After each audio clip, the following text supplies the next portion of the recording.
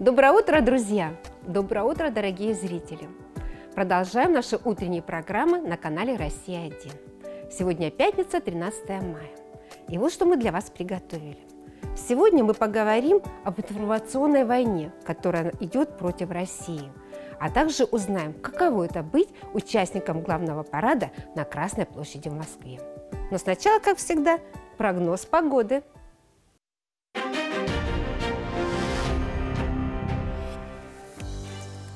Карачаево-Черкесии преимущественно без осадков, ветер западный 5-10 метров в секунду, температура воздуха ночью плюс 1, плюс 6. В северных и центральных районах местами заморозки, в воздухе и на поверхности почвы 0-2, в горах 0-5. Днем плюс 17, плюс 22 и местами плюс 7, плюс 12. В Черкеске без существенных осадков, ветер западный 5-10 метров в секунду. Температура воздуха ночью плюс 3, плюс 5. Днем 19-21 градусов тепла.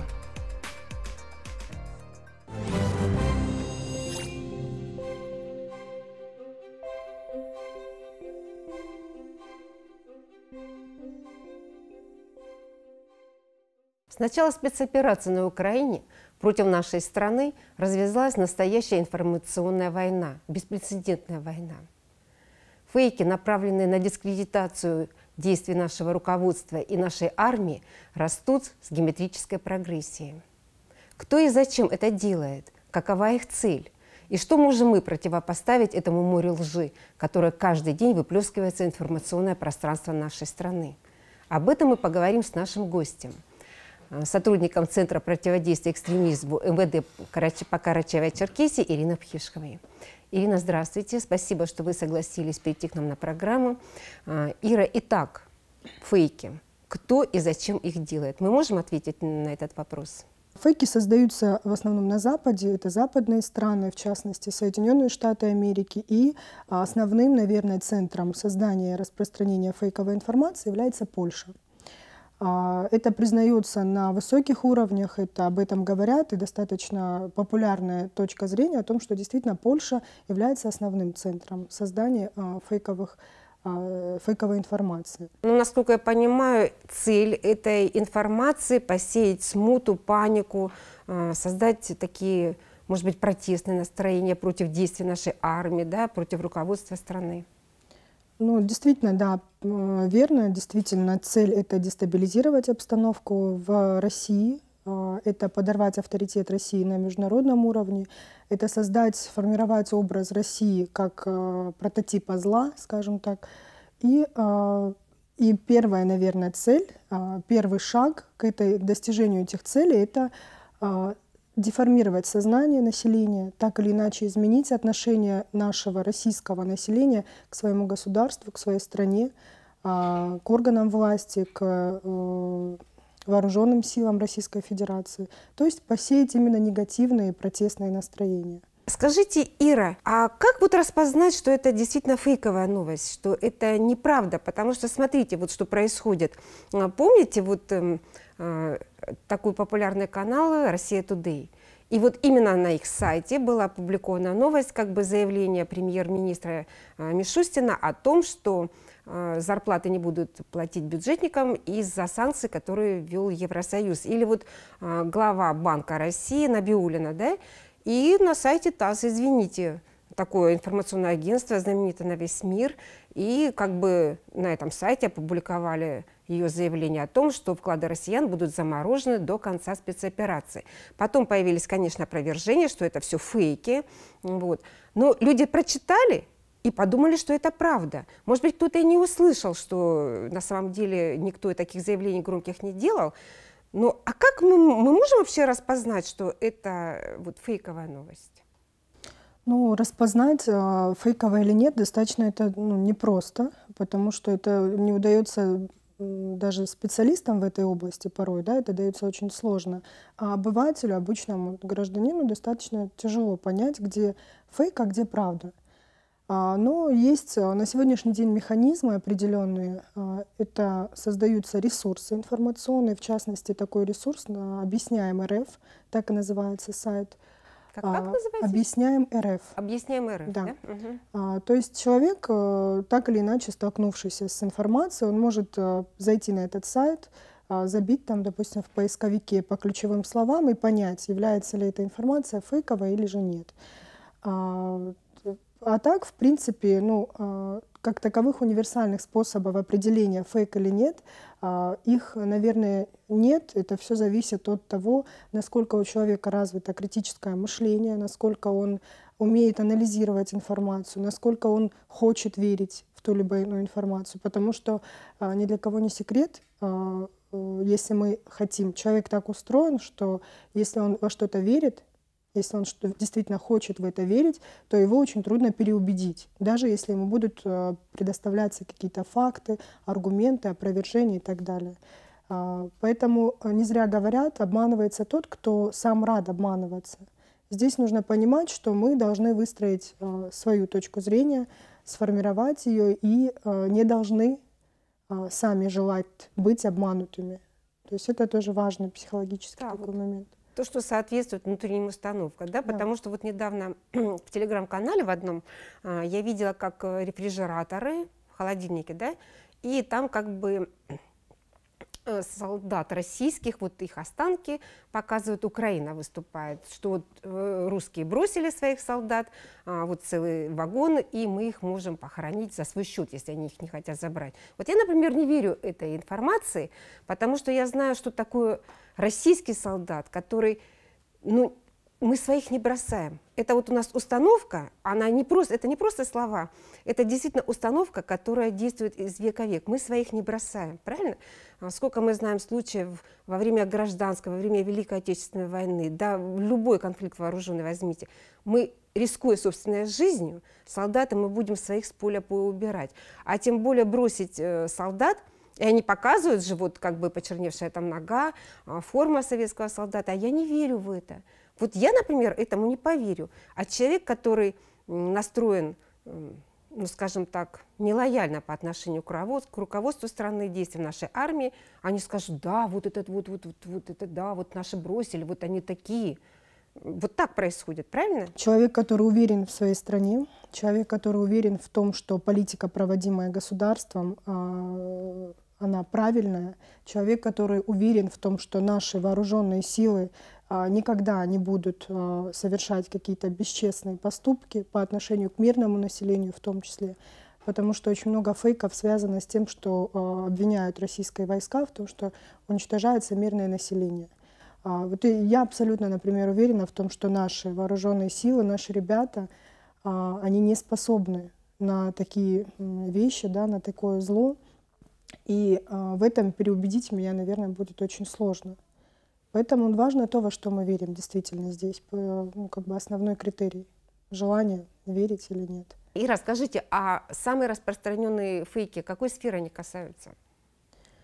Ну вот как раз самые распространенные фейки, они касаются того, что российские вооруженные силы э, уничтожают мирное население Украины. А, очень много фейков касается количества погибших э, солдат, да? количество, кроме того, а, вот были такие фейки, они встречались достаточно часто, и потом их разве... Э, были развенчаны, скажем так. А, касаемо того, вот были взяты кадры с событий 2005 года в Кабардино-Балкарии, в Нальчике, когда произошло нападение. Uh-huh. И вот эти кадры говорилось о том, что якобы это происходит сейчас на Украине. А затем были кадры с событий Беслана 2004 года, где огромное количество ну, погибших детей и взрослых э, показывалось, это демонстрировалось, будто это вот сейчас российские э, солдаты погибли. Там, почему это делается? Для того, чтобы мы усомнились в силе наших вооруженных сил, для того, чтобы мы в наших глазах подорвать вооруженные силы да, Российской Федерации, их авторитет. А, в общем-то, большинству, скажем так, к сожалению, а, этих, а, это удается, потому что среди взрослого, особенно населения, встречаются люди, которые очень активно верят этим фейкам. Они показывают свое одобрительное отношение. Кроме того, есть те, которые вообще оправдывают гибель наших солдат, Оправдывают гибель оправдывают, наших солдат? Да, оправдывают гибель наших солдат, особенно когда речь идет, э, вот затонул крейсер, да, угу. Москва, А, да? Да, крейсер «Москва» затонул, и были люди, которые э, с иронией говорили о том, э, сколько людей могло там погибнуть, предполагали, что там большое количество жертв, и, в принципе, рукоплескали та- такому исходу событий. К сожалению, они у нас а, есть такие люди, они встречаются. Естественно, что это не а, уходит от нашего внимания. Прямо такие- у нас в Карачаево-Черкесии? Не только у нас в Карачаево-Черкесии, в других регионах, когда мы подобного рода информацию встречаем, мы направляем в регионы для того, чтобы они э, как-то отреагировали. Вот я как раз у вас и хотела и расспросить. А, вот, а что мы, вот мы, люди, вот спецслужбы, что мы можем противопоставить вот этому негативному воздействию на нашу... Вообще можно как-то ну, нивели- нивелировать их воздействие? Ну, а, про- про- противопоставить, э, в принципе, государство это сделало уже за нас тем, что установило уголовную ответственность, административную ответственность. А, В частности, были внесены а, статьи в Уголовный кодекс, это статья 207 прим. 3, которая а, предусматривает уголовную ответственность за распространение а, ложной информации относительно использования вооруженных сил Российской Федерации. И санкции достаточно серьезные, наказание очень, скажем так, серьезное. Это лишение свободы от 3 до 15 лет. То есть это вот э, как бы э, показывает важность того, что ну, как, показывает реакцию государства на происходящие события. И кроме того, есть статья, тоже была введена буквально 4 марта, это статья, предусматривающая административную ответственность за дискредитацию вооруженных сил Российской Федерации. То есть любое негативное упоминание а, в адрес наших военнослужащих, в адрес а, военных ведомств, оно так или иначе влечет за собой ответственность административную и предусматривает штрафы в размере от э, 30 до 100 тысяч рублей на физических лиц. То есть э, мы видим, что государство предпринимает меры. В принципе, они сегодня очень эффективно используются. И у нас в Карачаево-Черкесии были случаи а, привлечения лица ну, к административной ответственности. Ну, я бы еще посоветовала нашим зрителям, наверное, а, смотреть программу «Антифейк» на Первом канале, она идет, да? Вот. И все-таки руководство здравым смыслом, и не забывать, в какой стране мы живем. Живем мы в великой и могучей действительно стране. Россию много раз пытались поставить на колени, сломать, но ничего у людей не, не получается у наших врагов. Потому что, по моему гл- глубокому убеждению, Россию невозможно победить. Да, конечно, я согласна. А, Ну что ж, я благодарю вас, Ирина, за то, что вы пришли а, к нам на программу, дали очень такие интересные, полезные советы. Удачи вам в вашей нелегкой, непростой работе. Спасибо большое. Недавно в России отмечали самый главный праздник нашей страны – Великий День Победы. Торжественные мероприятия прошли во всех городах и населенных пунктах нашей страны. Прошли они и в Карачаево-Черкесии. Но, конечно же, главное мероприятие проходило на Красной площади в Москве. Там состоялся главный парад. И сегодня у нас в гостях участник этого парада. Знакомьтесь, Иван Котляров, который представлял Баталпашинский казачий отдел, командир молодежной сотни. А, Я поздравляю вас, Иван, с таким событием в вашей жизни. Скажите, пожалуйста, а как вы туда попали? Почему выбор пал именно на вас? Здравствуйте, Ольга. Я э, приветствую вас, рад тому, что пригласили меня. Спасибо за поздравления. Что могу сказать? Во-первых, меня по- послали туда по одной простой причине. Я подходил по почти всем параметрам. Я подходил по росту, то есть и плюс еще должность моя такая была. Я командир молодежной сотни, как вы сказали. Плюс еще тот фактор, э, был тот фактор того, что я вернулся буквально с армии в прошлом году. Мгм. А где служили? Я служил на Урале, 90-танковой дивизии, город Чебаркуль, Челябинская область. Вот. Я был очень рад, и не только меня послали, нас от отдела послали только троих человек.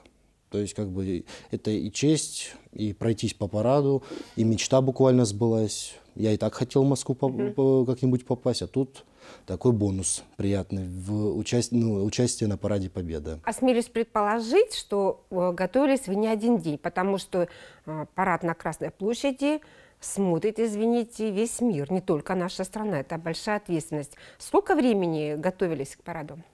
Ольга, вы правы, то, что не один день. Вот э, то, что вы видите на параде, буквально вот минуту каждая коробка военных проходит.